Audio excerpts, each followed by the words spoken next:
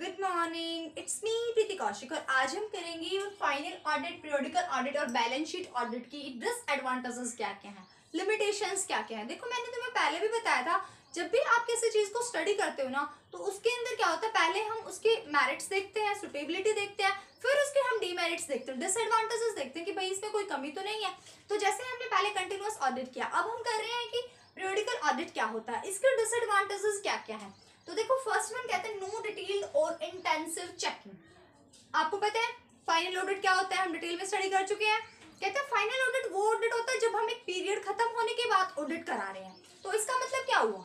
Continuous audit नहीं है। Continuity नहीं है उसके अंदर। एक पीरियड खत्म होगा, तब जाके हमारे अकाउंट्स चेक होने वाले हैं। तो भाई इतने सारे अकाउंट्स एक साथ चेक करने पड़ेंगे तो क्या हम डिटेल में स्टडी कर सकते हैं कि ट्रांजेक्शन्स को पॉसिबल ही नहीं हो सकता?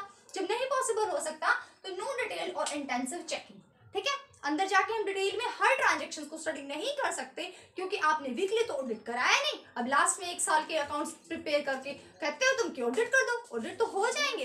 लेकिन ऐसा नहीं होगा कि बिल्कुल डिटेल में एक एक ट्रांजेक्शन को अच्छे से ऑडिट कर पाना पॉसिबल नहीं होता है। देन उसके बाद आता है delay in error and frauds जो एरर और फ्रॉड हमारे ऑर्गेनाइजेशन के अंदर होता है वो डिले हो जाता है। उसको डिटेक्ट करना डिले हो जाता है। कैसा डिले हो जाता है?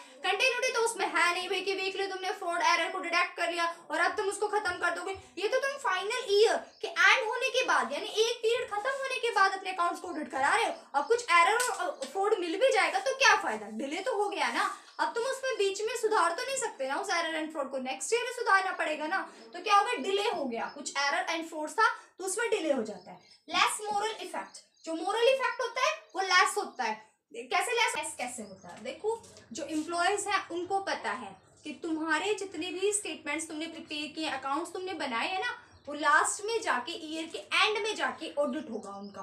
तो अब वो क्या होते हैं? वो लेजी हो जाते हैं? कहते कोई बात नहीं, आराम से कर लेंगे काम। क्या बड़ा ऑडिट रहा जाके तुम्हारे हमारे अकाउंट्स को चेक करने वाला? आराम से करेंगे, ठीक है? लेजी हो जाते हैं, काम करेंगे उनका मन नहीं करता। जो पॉजिटिव वाइब्स आ रहे होते हैं, जब वीकली वीकली आते हैं ना ऑडिटर तो उनको लगता है, भाई, काम काम जल्दी से कर लेते हैं, अच्छे से कर लेते हैं, क्योंकि अगर कुछ फ्रॉड हुआ एरर मिला तो हम पकड़े जाएँगे। या फिर, ठीक है ऑडिटर हमें पकड़ सकता है। तो अच्छे काम करते थे वो लेकिन अब क्या अब उनको मोरली खत्म हो जाता है वो। उनको पता है कि भाई लास्ट में फाइनल ऑडिट होना है। एक बार आएगा ऑडिटर चेक कर लेगा, क्या कर लेगा? आराम आराम से काम करते हैं। लास्ट तक तो हम कंप्लीट कर ही देंगे। ठीक है?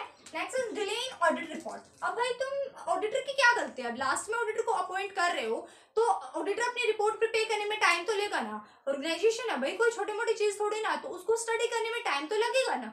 ऑडिट कर रहा है, वो चेक कर रहा है लगेगा तो ऑडिटर रिपोर्ट देने में डिले हो जाता है। देन उसके बाद एब्सेंस ऑफ़ टाइमली एडवाइस ये तो ज़ाहिर सी बात है भाई, जो टाइमली एडवाइस हम दे रहे थे ना, हर बार मतलब टाइम पे एडवाइस ऑडिटर दे जाता था, जब वो वीकली आता था ऑडिट करने के लिए, ये फाइनल ऑडिट में इसकी एब्सेंस होती है। कैसे होती है?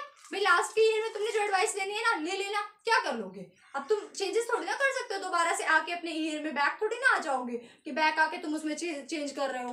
डोरेमोन का गैजेट थोड़ी ना है कि तुम वापस आके और चेक कर लोगे। ठीक है? ये तो पॉसिबल हो ही नहीं सकता। तो फिर क्या करना पड़ेगा? तुमने क्या करना पड़ेगा? मतलब टाइमली एडवाइस तुम मिस कर जाओगे। जो क्राइम पे तुम्हें अगर कंटिन्यूस ऑडिट कराते वो एडवाइस तुम्हें मिल जाते, अब वो तुम स्किप कर गए। दैन उसके बाद अनसुटेबल फॉर लार्ज ऑर्गेनाइजेशन जितने भी बड़े ऑर्गेनाइजेशन उनके लिए सुटेबल होता ही नहीं है। कैसे सुटेबल होगा भाई? लाखों ट्रांजेक्शन होते हैं। इतने सारे ट्रांजेक्शन ऑडिटर लास्ट में स्टडी करा स्टडी करा सो जाएगा वो स्टडी करता करता। कैसे कर पाएगा इतने सारे ट्रांजेक्शन ऑडिट नहीं हो, हो, हो पाएगा पॉसिबल कि उनको अच्छे से वो ऑडिट कर पाए। तो स्मॉल ऑर्गेनाइजेशन के लिए तो फिर भी सुटेबल है कि लास्ट में जाके एक बार ऑडिट हो रहा है। कोई नहीं अच्छी बात है हम कर लेंगे। और हो जाएगा ऑडिटर पॉसिबल भी कर पाता है। लेकिन अभी भाई लार्ज ऑर्गेनाइजेशन के लिए सुटेबल बिल्कुल भी नहीं होता क्योंकि इतनी सारे ट्रांजेक्शन को डिटेल में स्टडी करना ऑडिटर के लिए पॉसिबल नहीं हो पाएगा। अगर फिर भी तुम नहीं मान के करा रहे हो ना लार्ज ऑर्गेनाइजेशन का फाइनल ऑडिट तो तुम्हें ही प्रॉब्लम होने वाली है। तुम्हें ही एरर एंड फ्रॉड्स नहीं दिखने वाले फिर। फिर कराते रहना अपना फाइनल ऑडिट तो ठीक है, अभी बात क्लियर हुई। पीरियोडिकल ऑडिट फाइनल ऑडिट बहुत ही इंपॉर्टेंट टॉपिक था। इसको अच्छे से करना।